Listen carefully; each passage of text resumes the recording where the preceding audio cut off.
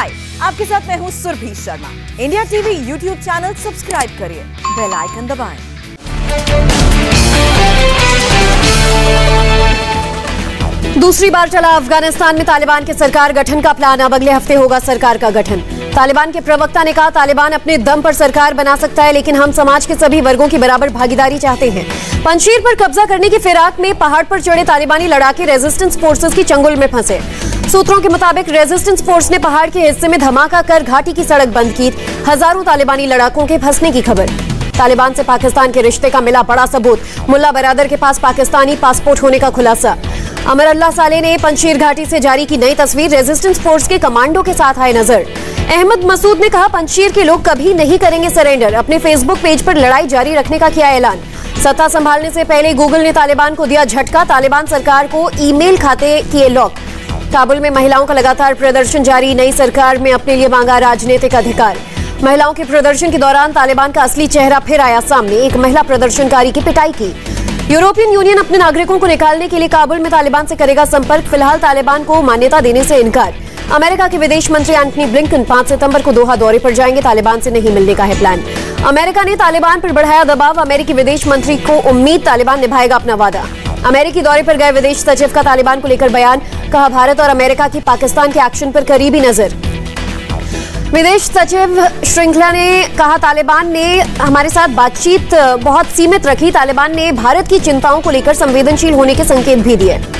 अफ़गानिस्तान के हालात पर ईस्टर्न इकोनॉमिक फोरम में बोले रूस के राष्ट्रपति पुतिन, महामानवीय आपदा है। राष्ट्रपति व्लादिमीर पुतिन की अंतर्राष्ट्रीय समुदाय से अपील, अफ़गानिस्तान में ताज़ा हालात से निपटने के लिए हो एकजुट। पश्चिम बंगाल के भवानीपुर सीट पर 30 सितंबर को होगा उपचुनाव। चुनाव आयोग ने किया ऐलान। ममता बनर्जी भवानीपुर से लड़ेंगे उपचुनाव। मुख्यमंत्री पद पर बने रहने के लिए चुनाव जीतना ज़रूरी। पश्चिम बंगाल में 30 सितंबर को ही होंगे जांगीपुर और शमशेरगंज में भी उपचुनाव। 3 अक्टूबर को आएँगे नतीजे। टीएमसी नेता पार्थ चैटर्जी ने चुनाव आयोग के फैसले का किया स्वागत। कहा, ईसी ने अपने विवेक से चुनाव कराने का लिया है फैसला। दिलीप घोष का बयान, बंगाल में मौजूदा हालात में नहीं हो सकते उपचुनाव। चुनाव आयोग को लिखित रूप में दी जानकारी। बंगाल में बीजेपी को एक और झटका। कलियागंज के विधायक सौमेन रॉय टीएमसी में हुए शामिल। टीएमसी में शामिल होने के बाद बोले सौमेन रॉय, सीएम ममता बनर्जी के समर्थन के लिए टीएमसी में वापस आया हूँ। मुर्शिदाबाद में कांग्रेस कार्यकर्ता पर हमले का मामला, बंगाल कांग्रेस चीफ अधीर रंजन चौधरी ने सीएम ममता बनर्जी से कार्रवाई की मांग की। एनसीपी चीफ शरद पवार का बयान, केंद्र सरकार विपक्षी दलों पर दबाव बनाने के लिए ईडी का कर रही है इस्तेमाल। झारखंड विधानसभा स्पीकर के फैसले पर भारी विवाद, विधानसभा में नमाज़ पढ़ने के लिए आवंटित किया एक कमरा। नमाज़ के लिए कमरा अलॉट करने पर भड़की बीजेपी। विधायक विरांची नारायण कहा, विधानसभा में हनुमान चालीसा के लिए पढ़ने के लिए दें पाँच कमरे। अयोध्या में एआईएमआईएम के पोस्टर पर कंट्रोवर्सी पोस्टर में अयोध्या की जगह फैजाबाद लिखा। पोस्टर पर विवाद के बाद ओवैसी की पार्टी की सफ़ाई एआईएमआईएम के अयोध्या जिलाध्यक्ष ने कहा, नए नाम से कोई दिक्कत नहीं। फैजाबाद लिखने से भड़के साधु संत। हनुमानगढ़ी के पुजारी राजूदास ने पूछा, ओवैसी को अयोध्या से चिड़ क्यों? अयोध्या के संत परमहंस आचार्य ने की मांग। फैजाबाद की जगह लिखा जाए, अयोध्या नाम नहीं बदला तो अयोध्या में ओवैसी की रैली होने नहीं देंगे। आप नेता हरपाल चीमा का सुखबीर बादल पर हमला कहा, उनकी मानसिक हालत ठीक नहीं, किसानों को बदनाम करने की साजिश। संयुक्त किसान मोर्चा ने सुखबीर बादल के बयान की निंदा की, कहा, किसान किसी से डरते नहीं, अपनी ज़ुबान पर लगाम लगाएँ। अकाली दल प्रमुख सुखबीर बादल का ऐलान, सिकंदर सिंह मलूका पंजाब के रामपुरा फुल सीट से लड़ेंगे चुनाव। सुखबीर बादल के ऐलान के एक दिन पहले सिकंदर सिंह मलूका ने रामपुरा फुल सीट से अपने बेटे के लिए छोड़ने की कही थी बात। बसपा सुप्रीमो मायावती ने केंद्र सरकार पर साधा निशाना कहा। बीजेपी शासन में चरम पर बेरोजगारी और भ्रष्टाचार। मायावती बोली ब्राह्मण समाज तेज़ी से बसपा के साथ जुड़ रहा है। मायावती ने कहा 2012 की तरह बीएसपी को हराने के लिए सभी दल हुए एकजुट। बीजेपी का पूर्व की अखिलेश सरकार पर निशाना लिखा व्यापारियों को रह, रहता था जान का खतरा माफियाओं को देना पड़ता था चढ़ावा। अखिलेश यादव का योगी सरकार पर पलटवार, गोरखपुर में सांड की लड़ाई का वीडियो शेयर किया, लिखा, रंग दिखा रही कुसंगति। गृह मंत्री अमित शाह से मिले यूपी के डिप्टी सीएम केशव प्रसाद मौर्य, लिखा, विधानसभा चुनाव के संबंध में मार्गदर्शन मिला। आजमगढ़ में सुहेल देव भारतीय समाज पार्टी के चुनावी सभा, ओपी राजभर ने किया कार्यकर्ताओं को संबोधित। मुजफ्फरनगर में रविवार को किसानों की बड़ी महापंचायत राकेश टिकैत का दावा, पाँच लाख से ज़्यादा किसान आएँगे। राकेश टिकैत ने कहा, यूपी के अलावा बाकी राज्यों से भी आएँगे किसान। महापंचायत में मंच से 20 लोग बोलेंगे। मुजफ्फरनगर में किसान महापंचायत के लिए भारी सुरक्षा, पीएसी की छह और रैपिड एक्शन फोर्स की दो कंपनियाँ होंगी तैनात। किसानों के महापंचायत पर बोले, यूपी के डीजीपी जहाँ जहाँ से किसान आ सकते हैं, उन रास्तों पर सुरक्षा व्यवस्था चुस्त है। पंजाब सरकार को किसान मोर्चा ने दी चेतावनी, कहा किसानों के खिलाफ दर्ज केस वापस ले नहीं तो राज्य में माहौल खराब होने पर किसान जिम्मेदार नहीं। जन आशीर्वाद यात्रा पर बीजेपी ने की प्रेस कॉन्फ्रेंस, कहा जन आशीर्वाद यात्रा उम्मीद से ज़्यादा सफल रही। बीजेपी ने कहा 2000 कार्यक्रम और 18000 किलोमीटर यात्रा का था लक्ष्य 5000 कार्यक्रम हुए और 24000 किलोमीटर से ज़्यादा की यात्रा।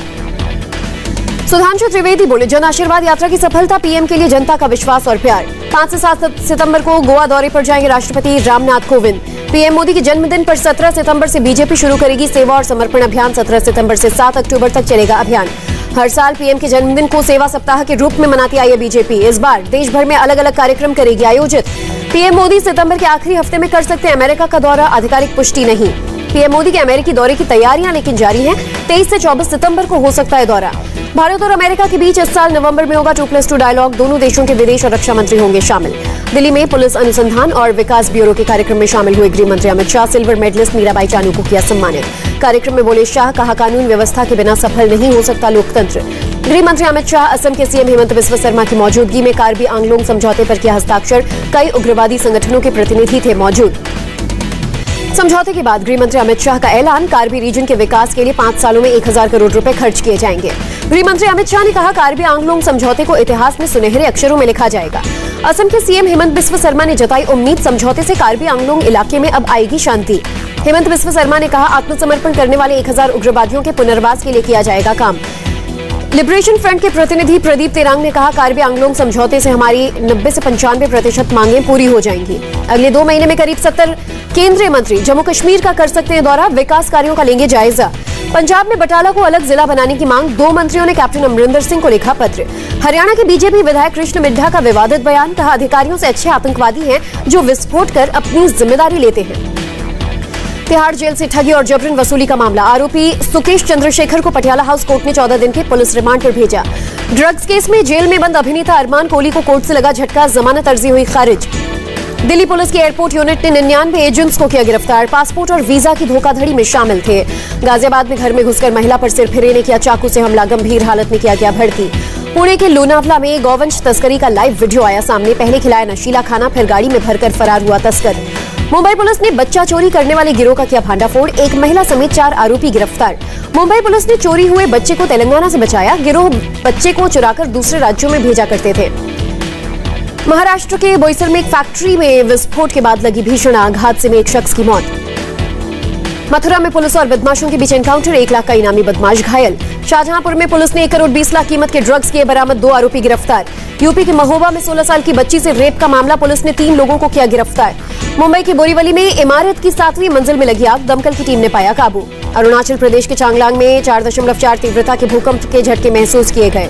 केंद्रीय मंत्री स्मृति ईरानी ने जगदीशपुर के ट्रॉमा सेंटर सामुदायिक स्वास्थ्य केंद्र में किया ऑक्सीजन प्लांट का उद्घाटन। अमेठी में स्मृति ईरानी का कांग्रेस पर हमला, कहा, सत्तर साल में जो नहीं हुआ, वो हमारी सरकार ने थोड़े ही समय में कर दिखाया। एंटी कोविड वैक्सीनेशन को लेकर केंद्रीय स्वास्थ्य सचिव राजेश भूषण ने नॉर्थ ईस्ट और केंद्र शासित प्रदेशों के साथ की बैठक।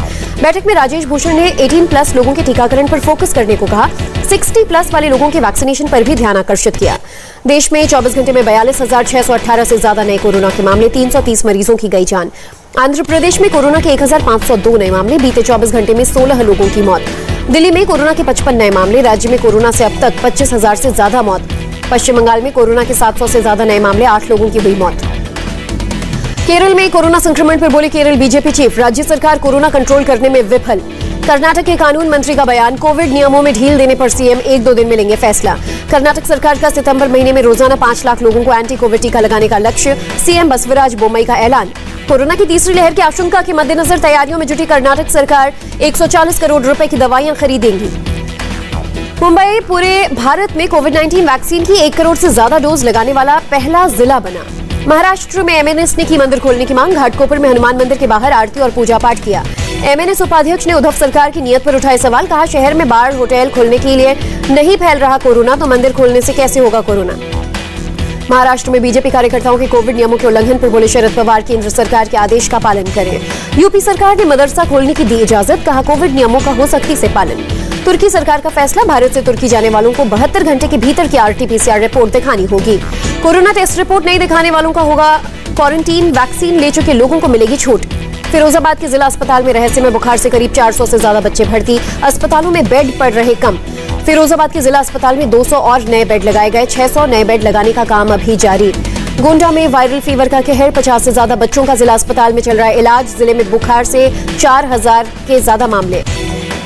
वाराणसी में डेंगू का कहर बीएचयू के आसपास के पाँच मोहल्लों को डेंजर जोन घोषित किया गया।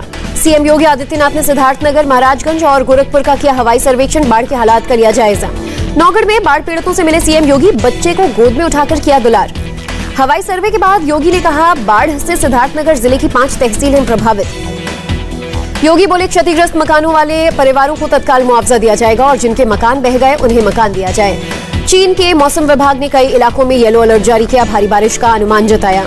अमेरिका के न्यू जर्सी में तूफ़ान ईडा ने छोड़ी तबाही के निशान। तूफ़ान में अब तक तेईस लोगों की हो चुकी है मौत। दक्षिणी कनाडा में दो कार्गो ट्रेन में टक्कर, एक क्रू मेंबर घायल, सोलह डब्बे पटरी से उतरे।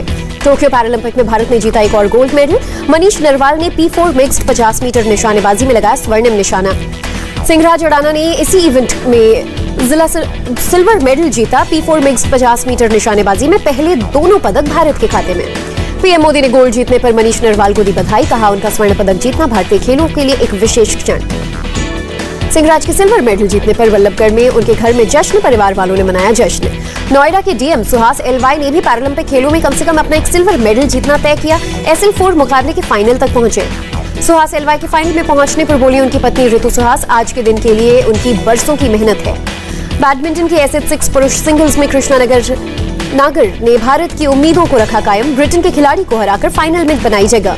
भारत को मिला चौथा गोल्ड मेडल, प्रमोद भगत ने बैडमिंटन पुरुष एकल एसएल थ्री में स्वर्ण पदक जीता। बैडमिंटन पुरुष एकल एसएल थ्री में मनोज सरकार ने भी दिखाया दम, कांस्य पदक अपने नाम किया।